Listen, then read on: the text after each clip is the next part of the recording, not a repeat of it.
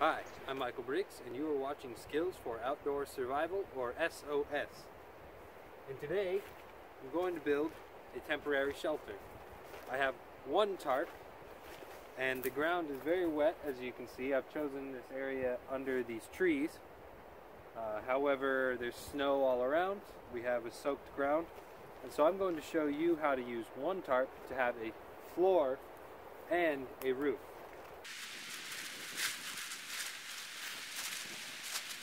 Okay, so we're going to start by staking down all four corners just to make this easier on ourselves.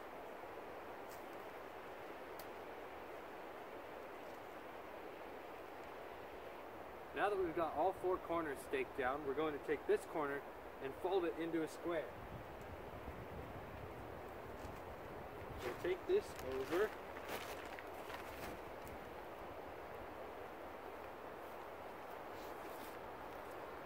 Now, so we've made a square, but we don't have an eye hole here. So we're going to make our own. So we need an eye hole here, and we don't want to put a hole in our tarp.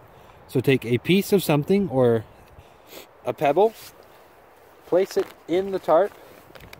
Next, get a length of rope that we cut earlier.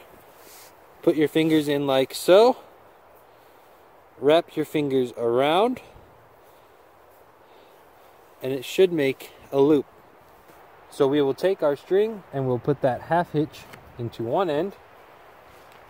Take that piece of stone or pebble and put this around and cinch it down. And then we are able to pull on our tarp. We have a connection point.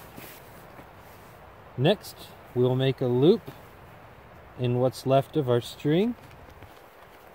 So we'll take it, double it up, we'll go over and through. And now we can stake this section of the tarp down. So we'll take our stake and put it through our homemade loop. Press that down. Now that we've got that staked into the ground, we're going to pull up this stake.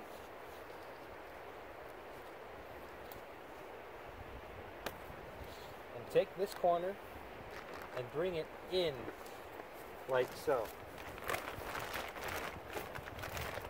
Okay? And it's going to be staked down along with this one.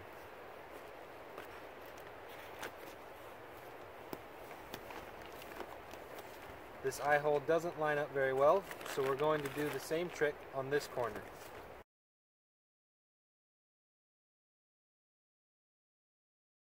Next, you need to tie a rope or string to that eyelet on top, and then connect that to a stake in the ground or to a tree above your camp.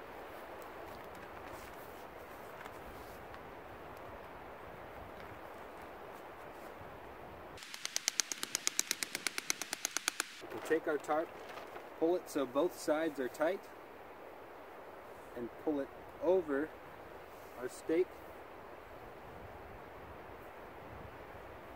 stake it into the ground. So here's what the finished product looks like.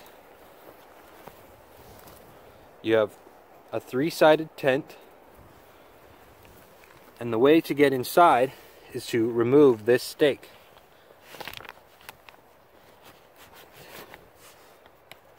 on one or both of the doors. For in this case, we'll just remove it on the one. And there you have a tarp tent with a floor and a roof made from one tarp. As you can see, this is kind of a miniature version of what this could be since I used such a small tarp. In any case, I'll still try and fit in.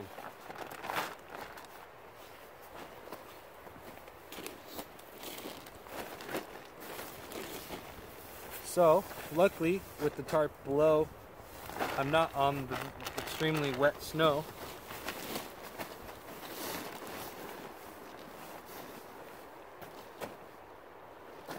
So it's almost large enough that I could sleep in here. However, it would be nicer to have a bigger tarp.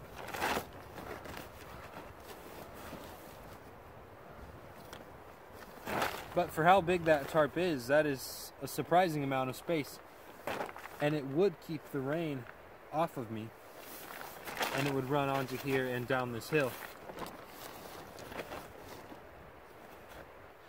So if you have a bigger tarp that you could sleep in, a tarp of this size would be great for storing things. Such as firewood or even a backpack. To keep it off the wet ground and out of the rain. Alright, thank you for watching Skills for Outdoor Survival, or SOS, and I'll see you next time.